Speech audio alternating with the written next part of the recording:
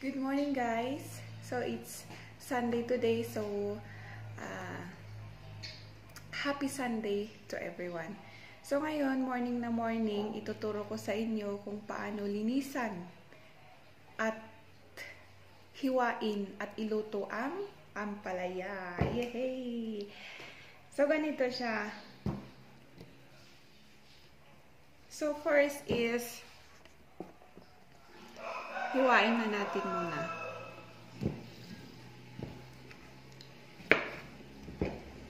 Kita ba? Hiwain natin. Kasi nga malaki ito. So, make it 3. And then, hatiin natin ng dalawa.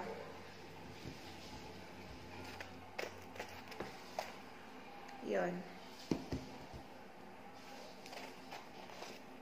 Ito kasi yung ano, yung sikreto ng pagluto para hindi maalat yung ampalaya.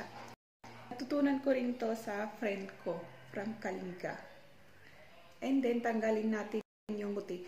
Uh, make, para sure na matanggal yung puti sa loob, gamit tayo ng kutsara para makuskus ng maigi.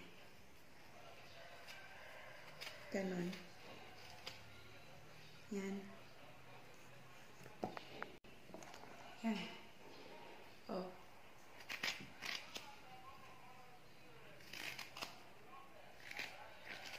Kuskusin natin ng maigi para ganun ang kalabasan.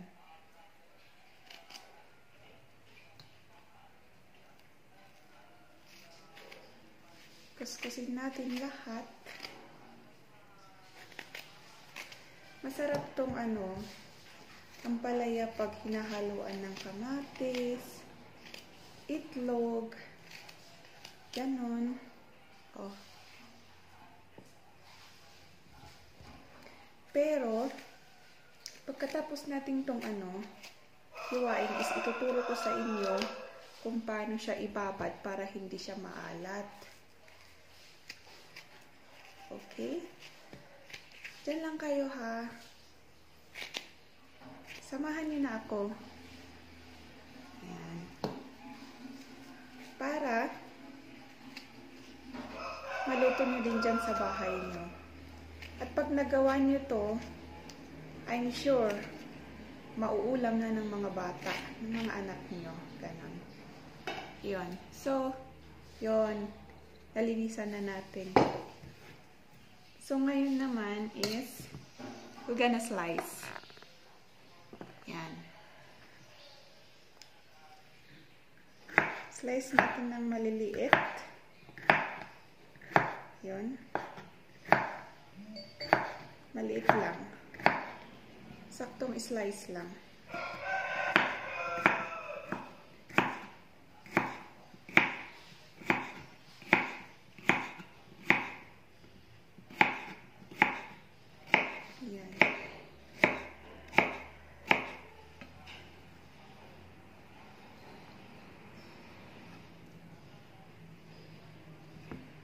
Slice natin lahat.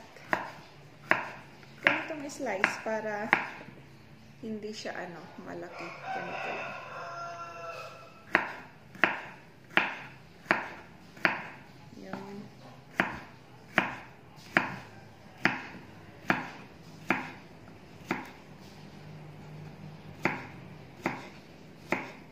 Dahan-dahan lang ha, baka mahiwa ang kamay nyo.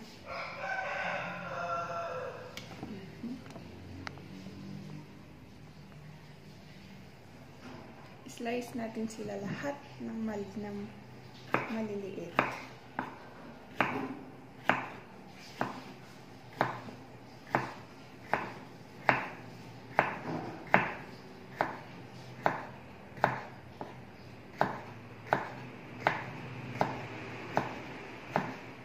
Samahan niyo na ako ha.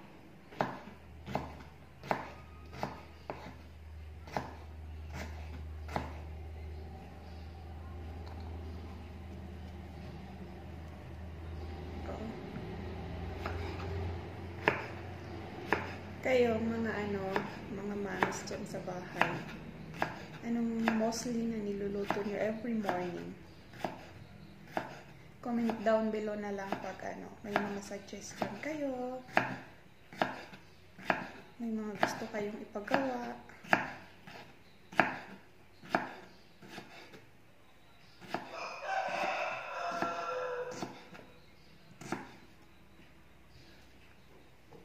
Ganon.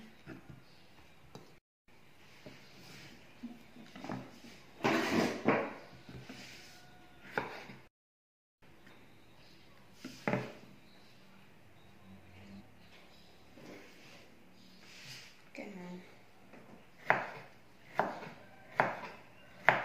Pag kayo ang nagluluto ng ampalaya, ano ang mostly na hinahalo niyo? Isn't it egg? Kamatis?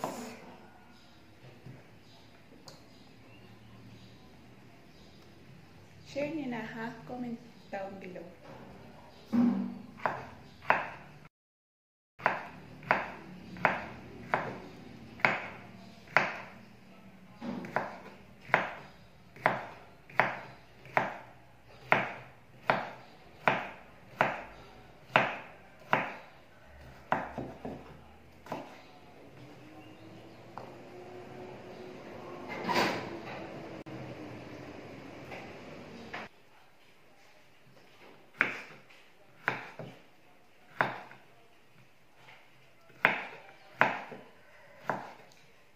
Samahan niyo na ako ha.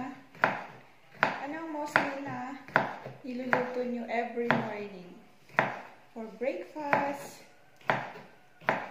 Pero itong ampalayas, hindi lang naman pang breakfast. Pwede din sa lunch. Ganon.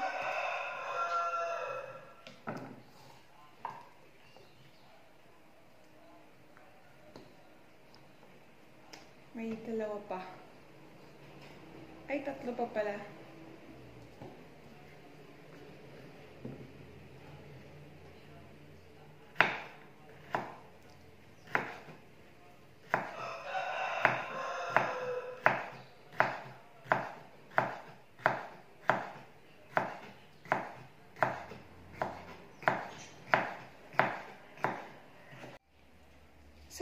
So, dahil tapos na natin hiwain, ilagay natin sa mas malaki.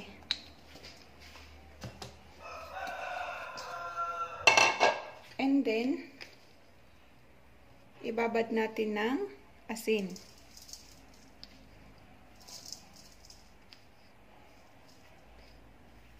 Ganon.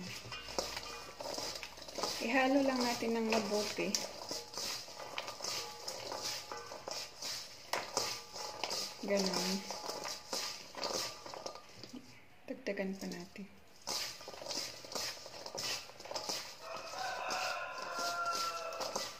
And then, hugasan natin ng running water mamaya. O, yan na, oh. Babad muna natin ng konti. Tapos, hugasan natin mamaya ng running water. Yan.